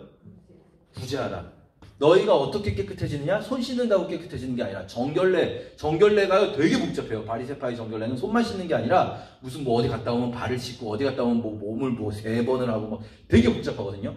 정결례가 너희를 깨끗하게 하는 게 아니라 너희에게 있는 것으로 구제하라. 그러면 너희가 깨끗해질 것이다. 라고 말씀을 하셨다는 거예요. 자, 12장에서는 그 유명한 부자, 이 부자 이야기 나옵니다. 한 부자가 있는데 이 원래도 창고가 있었어요. 근데 부자가 밭에 소출이 많아졌어요. 막 이렇게 농사가 잘 됐어요. 그러면은 이제 어떻게 할까요? 내가 어찌할고 고민하다가 뭐라고 합니까? 부자가 창고를 늘려야겠다 생각을 하죠. 그러니까 아하 어리석은 사람아 네가 이렇게 생각했다가 어? 그날 밤에 주님이 너를 데려가시면 어떡할 거냐? 요 설교 들어보신 적 있으실 수도 있어요. 요 설교를 가지고 이제 여기까지만 딱 끊어가지고 설교하면 어떻게 되냐면 우리는 언제든 죽을 수 있다. 주님은 언제든 우리를 죽일 수 있다. 이런 설교가 되어버리는 거예요. 무슨 말도 안 되는 설교입니까? 주님이 언제든 우리를 죽일 수 있다는 얘기가 왜 나와요? 성경에. 그러니까 아하 허탄한 사람아 그날 밤에 네가 죽으면 그 가져갈 거냐? 라고 하시면서 설교가 끝난 게 아니에요. 설교가 이어지는 거예요. 마지막에 이 12장 마지막에 쭉 나오면서 뭐라고 하냐면 네 창고, 네 이 썩어질 창고, 하늘에 가져가지도 못할 창고에 놓지 말고 하늘에다가 쌓아라. 라고 이야기를 해요. 그게 이 설교의 마지막 결론이거든요. 근데 어떻게 해야 하늘에 쌓아두는 겁니까? 너희 소유를 팔아 구제하여. 지금 여러분들 이제 불편하시죠? 이쯤 되니까, 그쵸? 대우빌로 얼마나 불편했겠어요? 여러분도 불편한데, 오늘 안 오신 분들은 잘하신 거예요. 너희 소유를 팔아 구제하여 낡아지지 않는 배낭을 만들어라. 하늘에 둔 바 다함이 없는 보물이니까 거긴 도둑도 가까이 하는 일 없고 종도 먹는 일이 없다. 하늘에다 쌓아라. 자, 여러분 생각해 보세요. 요 사이에, 요 사이에 12장 지금 이게 16절, 18절이잖아요. 이게 33절이고 요 사이에 들어가는 게 그 유명한 뭐냐면 그 뭡니까? 말이 기억이 안 나죠? 아무것도 염려하지 말라. 염려하지 말라가 너희가 머리를 한 자라도 더하게 할 수 있겠느냐? 하늘에 뭐 들에 핀 꽃을 보라. 뭐 하늘에 나는 새를 보라 얘기하시는 부분 있잖아요. 들풀도 입히시는 하나님이 솔로몬의 입은 옷도 들에 꼬만 못하느니라 하시면서 하시는 이야기가 뭡니까? 이게 생각해 보세요, 여러분. 부자는 왜 창고를 더 자꾸 늘려가고 싶을까요? 미래가 불안하니까. 무슨 일이 있을지 모르잖아요, 살면서. 살면서 무슨 일이 있을지 모르니까 창고를 늘려가고 싶은 거예요. 지금도 있는 창고인데, 그러니까 잘 보시면 무조건 창고 만들지 말라는 게 아니에요. 지금 있는 창고 가지고 뭐라고 안 하시잖아요. 부자는 원래도 창고가 있었어요. 근데 계속 자기 창고만 늘려가요. 왜요? 불안하니까. 근데 예수님 뭐라고 하십니까? 그 불안감을 없애는 방법은 창고를 늘리는 게 아니라는 거예요. 뭐라고요? 하나님을 믿으라고요. 미래는 들에 핀 꽃도 입히시고 먹이시는 하나님이 하물며 너희일까 보냐 믿음이 적은 자들아 라고 누가복음 10장에서 말씀하시면서 결론으로 하늘에다 쌓아놔라. 하늘에 쌓는 방법은 또 하늘에 쌓으라고 하면 교회 원금해라 이렇게 나가는데 그게 아니라 하늘에 쌓는 방법은 너희 소유를 팔아 구제하라. 계속 이 단어, 이, 이 표현이 계속 반복되는 거 느껴지십니까 여러분? 자, 더 가볼게요. 여러분 이제 그만 읽고 싶죠, 막 누가 보면. 제, 가 볼 때 그만 이쯤 되면은 데오빌로는 진짜 그만 읽었을 것 같아요. 이거 누가 복음은 못 읽었을 것 같은데 잔치를 배설할 때는 가난한 자들과 병신들과 저한 자들과 소경들 이게 좀 옛날 번역이라서 여러분이 병신들이라고 번역을 한 거고요. 요즘 번역은 이렇게 번역하진 않았어요, 여러분. 옛날 번역이에요. 자, 같이 한번 읽어보겠습니다. 40, 33절 시작. 이와 같이 너희 중 누구든지 자기의 모든 소유를 버리지 아니하면 능히 내 제자가 되지 못하리라. 예수님이 말씀하셨다는 거예요. 계속 소유, 부자, 가난한 자 이 얘기예요. 한 부자가 또 나와요. 이 부자라는 단어가 계속 반복되는데 부자 나올 때마다 부정적이에요. 그렇죠? 이번에는 부자와 나사로 이야기. 이 부자와 나사로 이야기도 워낙 유명하니까 여기저기 다 나오는 것 같지만 누가 복음에만 나온 누가 특수자료예요. 이것도. 자, 이 나사로는 거지예요. 근데 이렇게 있다가 부자의 삶을 살다가 나사로 죽죠. 나사로 죽어서 아브라함의 품에 안겨요. 부자는 죽어서 지옥 갔어요. 부자는 왜 지옥 갔죠? 여러분 이 비유에서 부자가 뭐 잘못한 거 있, 나요 부자 날마다 호화롭게 파티했어요. 그뿐이에요. 나쁜 짓 했다는 얘기 안 나와요. 왜, 왜, 왜 지옥 가죠, 부자는? 자기 집 앞에서 사람이 굶어 죽어가는데도 파티를 하고 있었다. 그, 나온 팩트만 보면 그거예요. 그게 잘못이라는 거예요. 이해되십니까? 여기서 부자의 잘못은 그거밖에 없어요. 부자가 무슨 뭐 돈을 벌기 위해서 나쁜 짓을 했다 이런 얘기 없어요. 그냥 부자고 날마다 호화롭게 파티를 하는 사람이고 부잣집 앞에서 나사로라는 거지가 굶어 죽었고 그 얘기가 다예요. 그냥 이 얘기는. 그게 부자 지옥 같고. 그러니까 지금 부자 대오빌로 각하에게 무슨 말을 하고 싶은가? 자 그러다가 이제 이, 예, 이 사실 이 부자 얘기가 쭉 나오는 게 예루살렘 들어가기 직전까지거든요. 예루살렘 들어가고 나면은 이제 이제 부자 얘기보다는 예수님 십자가 지시는 이야기가 가장 중요한 테마가 되는데 예수님 이 예루살렘 들어가시기 직전에 이 사건 부자 청년 이야기 나오죠. 부자 청년 이야기. 여기서 여러분 누가복음의 특징 보이십니까? 마가가 쓴 것을 마태와 누가가 수정했다. 저는 기억나시죠? 그쵸? 문장이 똑같아요. 아래 부분. 근데 누가가 수정한 부분이 있어요. 보이십니까? 관원. 얘는 그냥 한 사람이고요. 얘는 어떤 사람인데요. 얘는 관원이에요. 관원. 지금 이 글을 읽는 사람 누구죠? 데오빌로 각하는 관원인가요? 아닌가요? 관리죠. 하여튼 데오빌로 각하를 저격하고 있는 거예요. 누가 보면 대놓고. 왜 그런 거 있지 않습니까? 저격 설교? 뭐 목사님들 설교할 때도 자기 마음에 안 드는 성도 한 명 있으면 막 이렇게 대놓고 저기 데오빌로 각하한테 쓴이 누가 보면 대놓고 저격하는 거예요. 지금 데오빌로 각하를. 관원이에요, 이 사람. 그 청년이 재물이 많음으로 그 사람은 재물이 많음으로 이렇게 번역했거든요. 근데 누가복음은 그 청년이 돌아가게 되잖아요. 그 관원이 돌아갈 때 뭐라고 하냐면요. 그 사람이 큰 부자인 거로 의도적으로 부자라는 단어를 계속 쓰고 있어요. 부자라는 단어. 이해되십니까? 부자인 거로 근심하다가 돌아갔습니다. 자, 그리고 이 부자 청년 이야기가 지나면서 여리고에 가서 드디어 여리고의 세리장 사개오를 만납니다. 이게 여리고 가면 이제 끝난 거예요. 여리고 가면 다음 예루살렘이에요. 여리고의 세리장 사개오를 만나는데 여러분 사개오 하면 여러분은 뭐가 떠오르시나요? 이게 그러니까 어느 시대나 마찬가지인데 성경 해석은 결국 해석자들의 눈이 들어가거든요. 그러니까 무슨 말이냐면 해석자들의 그 시대의 관심사가 성경에 투영돼요. 그러니까 현대 시대에는 어떤 관심사가 있냐면 되게 심리적인 아픔, 또 심리적인 어떤 트라우마 이런 것들이 있다 보니까 삭개오가 뭐 키가 작아서 소외됐다. 현대에는 왜 이렇게 키가 중요한지 모르겠어요. 그래서 삭개오 하면 키 작고 그래서 키 작은 것 때문에 뭔가 막 트라우마가 있었고 막 뭐 맨날 이런 얘기인데 여러분 사실 삭개오가 그 정도로 키가 작은 건 아니에요. 사람이 많이 모여 있는데 키가 작아서 보이지가 않았다 이 정도거든요. 무슨 뭐 삭개오가 막 장애가 있을 정도로 키가 작은 게 아니라 저만 해도 어디 가면 사람 많이 보면 안 보여요. 그렇다고 해서 제가 무슨 막 키가 작아가지고 그것 때문에 평생 마음의 아픔을 가지고 살았다가 주님 만나 해결되고 그러지 않았습니다. 이 삭개오가 삭개오라고 할 때 키 작은 삭개오가 초점이 맞춰지는 거는 지극히 현대적인 관점이에요. 자 본문에 집중할게요. 본문에 본문에서 뭐, 뭐가 먼저 나오는가? 삭개오라 이름하는 자가 있으니 세리장이요 세리 중에 장이요 큰 부자라라는 거예요. 쉽게 말하면 세무소장이고 큰 부자라는 거예요. 지금까지 부자라는 단어가 계속 나왔잖아요. 그렇죠? 그러면서 키 작다는 얘기는 그 뒤에 이제 삭개오가 나무에 올라가야 되는 이유를 설명하기 위해서 키가 작아서 앞이 안 보였다 이 말이 나오는 거지 키 작다가 포인트가 아니에요 삭개오 이야기에서 포인트는 뭡니까?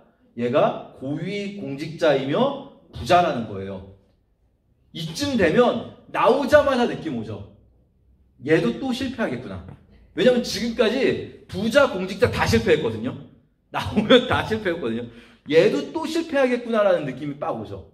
근데 예루살렘 입성 직전에 만난 이 부자는 다르죠. 삭개오는 성공했어요. 삭개오는 오늘 구원이 이 집에 이르렀으니 이 사람도 아브라함의 자손이다 라고 예수님의 선언을 받아요. 어떻게 해요? 자기가 먼저 자기 소유의 절반을 바로 가난한 자들에게 주겠다 라고 선언함으로써 이해되시죠? 삭개오가 그 무화과 나무에 올라갔다라고 이렇게 나와요. 아, 우리 성경 옛날에는 뽕나무라고 하거든요. 뽕나무. 이게 사실은 뽕나무가 아니고요.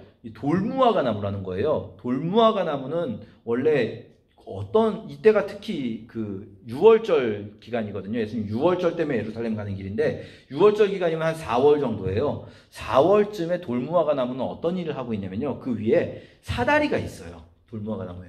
돌무화과 나무가 뭐냐면요. 이 시커모어 트리라고 해서 이집트 같은 데 지금도 있는데 어, 열매가 엄청 딱딱해 가지고 먹지 않아요, 지금은. 식용으로 쓰지 않는 나무예요. 지금도 있습니다. 다 이집트 가면은 이스라엘 가도 있고요.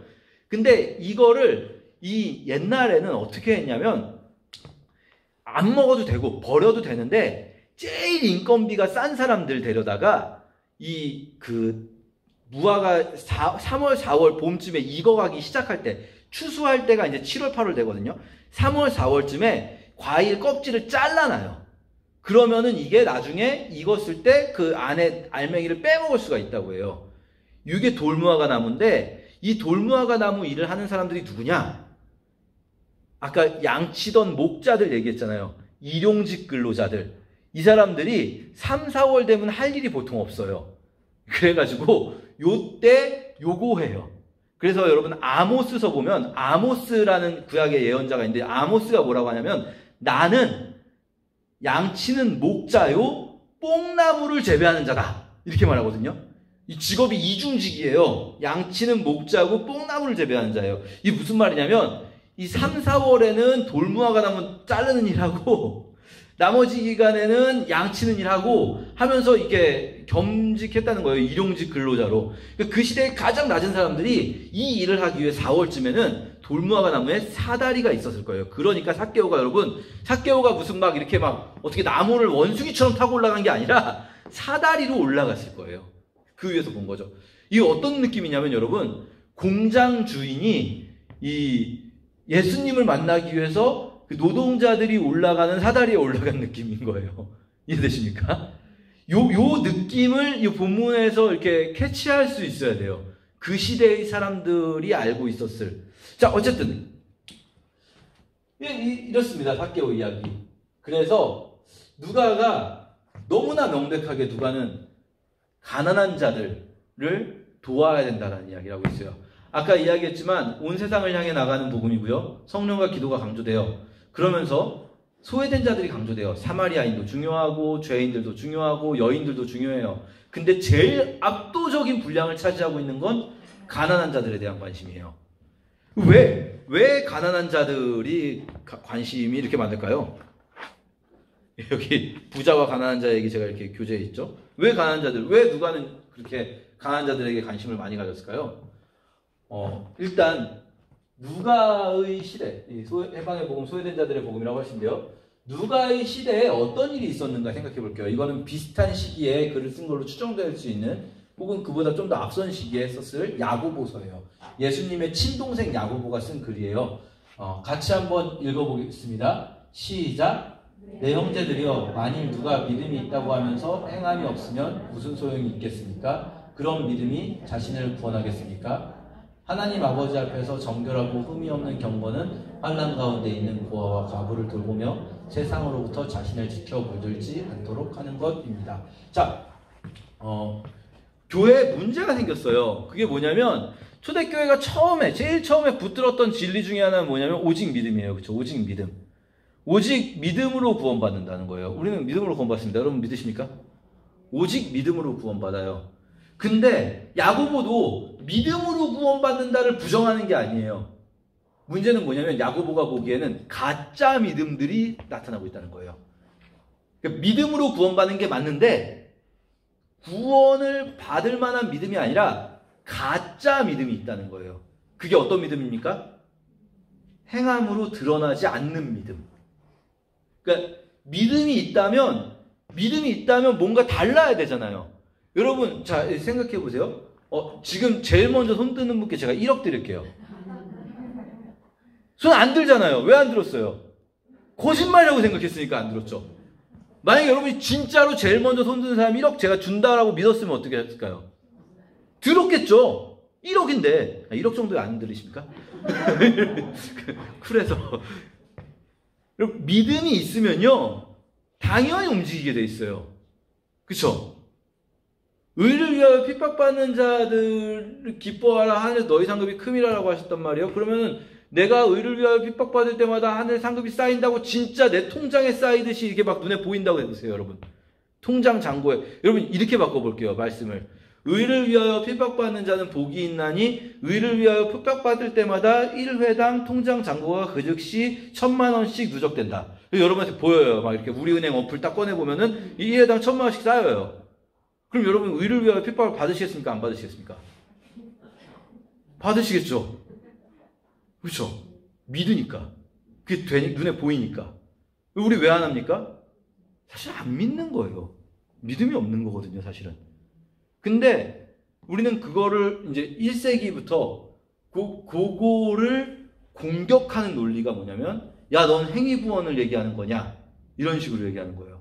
야, 구원 오직 믿음으로인데 왜냐면 바울이 그렇게 가르쳤거든요. 오직 믿음으로. 근데 바울이 가르친 오직 믿음으로라는 말은요. 우리 나중에 바울 서신할 때 얘기할 거예요. 바울이 가르친 오직 믿음으로는 이런 누구를 돕고 가난한 자들을 돕고 이런 부분의 행위와 대조되는 개념이 아니고요. 바울이 공격하고 있는 행위로서는 구원받을 수 없나니 말할 때는 무슨 할례 받고 안식일을 지키고 음식규를 지키고 이거 얘기하는 거예요. 바울은 계속 그것과 싸웁니다. 왜냐하면 유대교가 당시에 그거에 매달려 있었기 때문에. 근데 어쨌든 이런 문제가 이런 사람들이 생겼던 거예요 교회에 믿음이 있다고 하면서 행하지 않는 사람들 그 사람들 중에 하나가 어쩌면 데오빌로 각하가 있는 교회였을지도 모르겠어요. 왜냐하면 여러분 이게 고대 사회로 갈수록 교회도요 이렇게 끼리끼리 뭉치게 돼 있어요. 그러니까 그 데오빌로 각하가 다니는 교회는 어, 그, 그 모임은 좀 이렇게 quality 있는 사람들이 모이는 모임이었을 가능성이 높아요 이, 게 어, 예를 들면은 구약 시대에도요. 아까 아모스 얘기했잖아요. 아모스가 막 이렇게 선포를 하니까 막 아모스가 되게 세게 말하거든요. 너희의 제사를 그쳐라, 찬양도 그쳐라, 비파와 소고도 그쳐라, 오직 정의를 강같이 뭐 공의 하수같이 일절하고 말하니까 뭐 뭐라고 하냐면 그 베델의 제사장 아마샤가 나와가지고 여기는 왕이 제사하는 처소다라고 말해요. 무슨 말이냐면 여기는 quality 있는 사람들 오는 곳이라는 거예요. 이 교회는. 그러니까 우리도 그런 거 있잖아요. 좀 이렇게 좀 괜찮은 사람들 다니는 교회. 그럼 그런 교회는 이제 화 있을 진저예요. 함께하는 교회 그런 교회라고 얘기 많이 나와요. 화 있을 진저예요.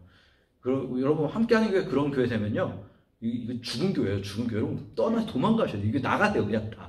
그런 교회는 화 있을 진저예요. 근데 어쩌면 데오빌로 가크가 다니는 교회도 그런 교회였을지도 몰라요. 그러니까 이제 누가는 그 부분에 이제 문제의식을 느낀 거죠. 그리고 누가의 스승이 누구겠습니까? 누가 아까 어디 전도팀 소속이라고 했죠? 바울. 아마도 바울이 스승이었을 텐데, 아, 또 이제 요한이 한 얘기네요, 요한. 야고보, 요한. 요한은 뭐라고 했는지 읽어볼까요? 시작. 누가 이 세상의 재물을 가지고 형제의 궁핍함을 보고도 도와줄 마음을 닫으면 하나님의 사랑이 어찌 그 속에 거하겠느냐. 자녀들아, 우리가 말과 여로만 사랑하지 말고 행함과 진실함으로 하자. 이런 부분이 강조된다는 얘기는 뭐냐면 교회 안에 이런 부분이 왜곡되거나 잘못 가르쳐지거나 이게 간과되고 있다는 거예요. 그러니까 야고보나 요한이 이런 부분을 강조하고 있어요. 굉장히 요한일서 보시면 굉장히 강조되고 있습니다. 이런 부분이. 그러니까 아마도 1세기 기독교가 1세기 후반으로 넘어가면서 교회가 지나치게 관념화되기 시작한 거죠. 바울도 이렇게 말했어요. 바울이라고 해서 무슨 행위 다 필요 없다. 가난한 사람 돕고 이런 게 중요한 게 아니라 오직 믿음만 중요하다. 그런 게 아니었어요. 바울도. 바울도 뭐라고 합니까? 이 세상의 부자들에게 이 말을 전하십시오. 교만하지 말고 돈을 의지하지 말고 하나님께 소망을 주라고 가르치십시오. 모든 것을 주시는 분이십니다. 선한 일을 하도록 노력하고 베푸는 가운데 부유함을 누리도록 그들을 가르치십시오. 부유함을 누리지 말라는 얘기가 아니에요. 그렇죠? 베푸는 가운데 부유함을 누리도록 그들을 가르치십시오. 나눠주고 베풀 때 맛볼 수 있는 참 기쁨을 말해 주십시오. 그렇게 할 때 그들은 하늘 창고의 보물을 이거 거의 비슷한 표현 누가 아까 쓰지 않았습니까? 하늘 창고의 보물을 쌓게 될 것입니다. 이것이 그들의 미래를 위한 든든한 터가 되고 참 생명을 얻게 해줄 것입니다. 누가는 바울의 제자였는데 이런 데서 바울의 제자였다는 느낌이 드러나는 거죠. 바울이 썼던 표현을 거의 그대로 가져온 게 몇 군데 있어요. 자, 어쨌든 그래서 누가는 데오빌로 각하한테 이야기를 한 거죠. 데오빌로 각하요. 내가 어, 써보내는 게 필요한 것 같아요라고 말하는 거예요. 이 뜻입니까? 내가 어, 각하 뭐 이미 뭐 많이 알고 계시겠고 각하도 이제 기독교인이겠지만 그렇지만 내가 각하께 써보내는 게 좋은 줄을 내가 생각했습니다. 라고 하면 쓴 거죠. 여러분 그럼 이제 데오빌로 각하는 어땠을까요? 데오빌로 각하는 데오빌로 각하가 여러분 이거 우리 알 수 없어요. 알 수 없어요. 데오빌로 각하가 찢어버렸을 수도 있어요. 읽다가 한 6장쯤 읽다가 뭐야 씨. 아니면은 이게 부하한테 주면서 야 네가 읽어보고 요약해가지고 얘기해줘 이렇게 쓸 수도 있어요. 근데 이제 추정하자면 추정하자면 저의 개인적인 기분 좋게 그냥 상상의 나래를 펼쳐보자면 데오빌로가 받아들였을 거라고 생각해요. 왜 그러냐면 여러분 보세요. 누가복음 1장과 사도행전 1장의 차이가 뭔지 아시겠습니까? 이거 진짜 한글 번역하신 분들이 저는 기가 막히게 번역했다고 생각합니다. 누가복음 1장은 존댓말로 번역했고요. 아 이건 이건 또 아니네요. 이건 제가 다른 번역본을 가져온 것 같아요. 개혁 성경에 보면 누가복음 1장은 존댓말로 번역했고요. 사도행전 1장은 반말로 번역했어요. 이게 원래 원문은 존댓말 반말이 없는데 저는 이거 기가 막힌 번역이라고 생각해요. 왜냐하면 사도행전에 뭐가 빠졌어요. 단어 하나가. 다카가 빠졌죠. 크라티스테가 빠졌어요. 그러니까 여러분 이런 거예요. 교회 다녀도 교회 안에 들어와도 이게 세상에서 호칭이 높은 분들은 그 호칭으로 불러드려야 되는 거 좀 있잖아요. 뭔가 사장님 막 이런 거. 저 같은 경우는 제가 이제 군대에 있을 때 다녔던 교회, 저 용산에 있었거든요. 국방부에. 지금 저희 부대가 어디론가 사라졌던 것 같은데. 제가 국방부에 있었는데, 저희 국방부에 국군중앙교회라고 있어요. 삼각 지역 있는데. 거기에 당시에 이제 장관님이 김장수 장관님이라고 있었어요. 꽃꽃장수라고 옛날에 이렇게 북한 사람들하고 이렇게 그 뭐죠? 할 때 꼿꼿하게 서 있었던 그분이 기독교인이어가지고 김장수 장관님이 국군장학교에 나왔었거든요. 되게 재밌는 일도 있었어요. 원래는 병사들하고 그 간부들이 예배를 따로 드는데 이분이 가끔 병사 예배 왔어요. 근데 이게 저희 부대 애가 졸고 있었어요. 걔가 제 후임이었는데 병 일병이었나 그런데 졸고 있는데 뒤에서 이분이 이렇게 툭툭 치신 거예요. 내 애가 확 째려봤는데 국방부 장관이 앉아 있는 거예요. 매우 당황했었던 일이 있었는데 저, 저 그때 신우회장 해가지고 장관 공관에, 한남동 공관에 새벽성도 갔었어요. 그 사진 아주 기쁜 마음으로 간직하고 있는데, 어쨌든, 이분이 원래 교회에서 직분은 집사님이었어요. 이분이 그, 뭐, 뭐, 그 웃으면서 그랬어요. 새벽성 갔을 때 자기 술을 아직 못 끊어서 집사라고. 근데 교회에서 아무도 그분을 김장수 집사님이라고 부르지 않았어요. 뭐라고 불렀을까요? 장관님이라고 불렀어요. 저는 국군중앙교회에서 단 한 사람도 그분을 김 집사님이라고 부르는 걸 본 적이 없어요. 다 장관님이라고 부르지. 그러니까 이 크라티스테 테오빌로도 그런 사람이었을 거예요. 데오빌로 각하라고 불러야 돼요. 교회 안에서도. 근데 시간이 흘러 그냥 이름을 부르는 관계가 됐어요. 어쩌면 뭐 기분 좋은 상상을 해본다면 데오빌로가 정신 차리고 데오빌로가 뭐 나 나 각하네 총독이네 하는 마음을 버리게 된 것이 아닌가 하는 상상을 기분 좋게 해봅니다. 어쨌든 어, 아, 요 부분도 있네요. 희년. 여러분 아까 이제 희년을 선포하러 오셨다고 했잖아요, 예수님이. 근데 여러분 희년이 이루어졌습니까? 그래서 희년 안 이루어졌잖아요, 그렇죠? 예수님이 누가복음 4장에서 내가 여호와의 은혜를 선포하러 왔다 했는데 선포만 해놓고 희년이 이루어지지 못했잖아요. 그럼 어찌 된 거죠? 그러니까 누가는 이 희년의 구절, 레위기 25장에 보면 희년의 구절이 나올 때 부피판 자가 없는 이라는 표현이 나오거든요. 그 표현을 어디다가 대놓고 쓰고 있냐면요, 누가는. 누가가 쓴 사도행전에 이런 표현이 나와요. 교회가 모든 물건을 통용해서 각 사람의 필요를 따라 나누어 줬다. 라고 하거든요. 그래서 핍절하는 사람이 없었다. 라고 나와요, 사장에 또. 이거 무슨 말인가? 누가가 보기에 희년은 어떻게 이루어진 겁니까? 교회를 통해. 그러니까 구약 성경에서 희년이라는 거는 원래 국가적으로 법적으로 정하는 거예요. 법적으로 올해는 희년이다 선포하면 모든 국가적으로 이제 선포가 되는 건데 누가는 그렇게 생각하지 않았어요. 교회가 바로 희년의 공동체다. 교회를 통해서 이 나눔이 실천되고 이 뭐랄까요 부의 불균형이라는 건 어쩔 수 없어요 사실. 근데 그 부의 불균형이 어떻게 희년에 이렇게 옮겨져 나누어져야 되잖아요. 그게 어떻게 나눠집니까? 교회를 통해서 그게 나눠지는 일들이 있었다라고 누가 말하고 있는 거예요. 교회를 말하고 있는 거죠. 자, 그래서 누가가 말하는 하나님 나라. 하나님 나라는 하나님 나라가 임하였느니라 하나님 나라가 가까이 왔느니라 누가 보면 똑같이 나오거든요. 똑같은 구절들. 누가가 말하는 하나님 나라는 어떤 나라냐면요. 첫째는 온 세상을 향해 퍼져나가는 나라예요. 그냥 이스라엘의 유대인들 안에 있는 나라가 아니에요. 온 세상을 향해 퍼져나가고요. 성령과 기도로 이루어지는 나라예요. 우리가 막 하려고 막 강조하는 게 아니에요. 하나님이 하시는 일이에요. 그리고 세 번째로 정의가 강물같이 흐르는 곳이에요. 자, 여러분, 저 제가 마지막으로 이제 그냥 개인적인 소회를 이 24페이지 아래에 써놨는데 되게 제가 생각할 때 그 신기한 일 중에 하나가 뭐냐면요. 한국교회에 되게 이상한 풍토, 풍토 중에 하나가 한국교회는요, 교단이 중요하지 않은 거 아십니까? 여러분, 장로교, 감리교, 침례교 다녀보셔도 별 차이 못 느끼시는 경우가 많아요. 실제로 별 차이가 없어요. 왜냐면 교단이 구분된 거는 사실은 우리나라에서 구분된 게 아니라 이미 몇백 년 전에 서구에서 교단이 나눠졌고 그게 우리나라에 들어왔어요. 그렇죠? 교단 간의 차이라는 게 이미 수백 년 동안 희미해졌어요. 사실 지금. 근데 한국 교회는요. 어떻게 나눠지냐면요. 교회 풍토가 이렇게 교회 분위기가 둘로 이렇게 갈려요. 어, 떤 느낌이냐면 기도와 성령을 강조하는 교회가 있고요. 혹은 선한 행위와 뭐 소외된 이들을 돕는 삶을 삶을 강조하는 교회가 있어요. 근데 이게 되게 명백하, 명확하게 교회가 되게 느낌이 달라요. 여러분 뭐 다녀보시면 아시겠지만 안 그런 교회도 있긴 한데 대부분 그두두 카테고리에 나눠지는 느낌이 있어요. 여러분 이거 굉장히 이상한 일이에요. 왜냐하면 성경 전체에서 가장 기도와 성령을 강조하는 성경이 누가복음이고요. 가장 삶을 강조하는 성경이 누가복음이에요. 왜냐하면 이 두 가지야말로 붙어 있어야만 되는 것이기 때문에 그래요. 여러분 우리가 어떻게 이웃들을 돌아보고 이웃들을 이웃들의 삶을 향해 나아갈 수가 있습니까? 우리가 하는 건가요? 그게 막 내가 막 해보겠다고 해서 되나요? 그게 그 그거 자기 의를 쌓거나 그거 하는 척하다가 말거나 폰만 잡거나 그렇게 해가지고 뭐 이렇게 남들한테 보이고 아 우리는 막 좋은 일 하는 교회야 이렇게나 할 수 있지 실제로 진짜 그게 됩니까? 그 거꾸로 기도만 하고 삶이 나오지 않는다고 그 기도가 도대체 무슨 소용이 있는 겁니까? 그 기도는. 기도는 여러분 뭐하러 하는 겁니까? 기도가, 기도를 하는 게 목적이 아니잖아요.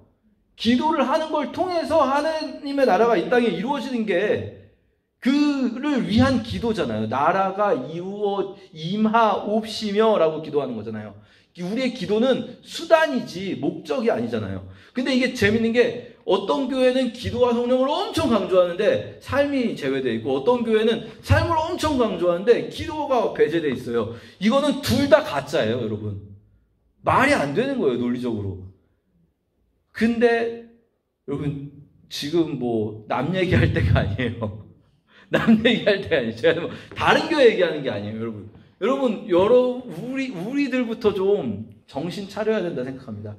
여러분 중에도 우리들 중에도 어느 한쪽으로 이렇게 치우쳐져 있는 신앙이 있을 수 있어요. 어떤 분들은 뭐 이쪽으로, 어떤 분들은 저쪽으로. 제가 보기에 함께하는 교회는 이제 뭐 삶을 강조하면서 기도 안 하는 분들이 한 한 보따리 있는 것 같고 이제 기도 기도는 언제 합니까 하면은 이제 기도는 밥 먹을 때 하는 거다라고 생각하는 분들 한 보따리 있는 것 같고 그리고 또 일부는 또 함께하는 교회 안에서 꿋꿋하게 기도와 말씀을 강조하지만 딱히 삶을 안 하는 또 또 약간 소수파가 또 있어요. 여러분 이러면 안 돼요. 그거는 참된 교회가 아닙니다. 제, 제가 말하는 참된 교회라는 거는요, 여러분, 우리 그렇다고 해서 뭐 교회가 아니라는 말은 아니죠. 다 교회인데, 성경이 가르치신 교회는 아니에요, 적어도. 그렇다면 성경에 나오는 교회의 권능이 있습니다. 성경은 교회를 통해서 많은 일들이 이루어질 거라고 예언하셨거든요. 근데 그 교회의 권능이 이루어질 수가 없는 교회인 거예요. 네, 여러분, 우리가 참된 교회가 되도록 교회는요, 항상 근데 지난 2000년 역사 속에 항상 참되지 못해 오긴 했어요. 근데 항상 참되기 위해 발버둥쳐야 돼요. 항상 갱신되어야 합니다. 교회는 그렇게 예, 누가복음을 잘 읽으시는 한 주가 되시기를 축복합니다. 예, 예, 기도하고 마치도록 하겠습니다. 하나님 감사합니다. 어, 주님께서 음, 우리들 이끌어 주셔서 저희 이렇게 모여서 같이 성경을 공부하게 됐습니다. 어, 하나님 음, 날마다 날마다 어, 하나님 말씀 안으로 더 깊이 들어가서 그 말씀이 내 삶에 그대로 드러날 수 있도록 정말 주님 원하시는 삶, 하나님 나라의 삶을 살 수 있도록 우리를 이끌어 주세요. 주님, 우리들 기도하고 하나님을 의지하는 자들이 되기를 원합니다. 내 능력과 내 힘으로 하려고 하는 것이 아니라 하나님께 나아가서 하나님의 능력을 구하는 자들이 되게 도와주시고 주님 또한 우리들 우리의 이웃들을 향해서 늘 나아가는 자들이 되기를 원합니다. 이 땅에 가난한 자들, 소외된 자들 모두에게 우리가 정말 아주 작은 분량이라도 빛과 소금의 역할을 할 수 있도록 우리를 사용해 주시기를 원합니다. 주님 그렇게 할 때 하나님 나라가 조금씩 조금씩이라도 이 땅에 구현되고 그 일을 통해서 하나님 기뻐하실 줄 믿습니다. 감사하며 예수님의 이름으로 함께 기도합니다. 아멘. 수고하셨습니다.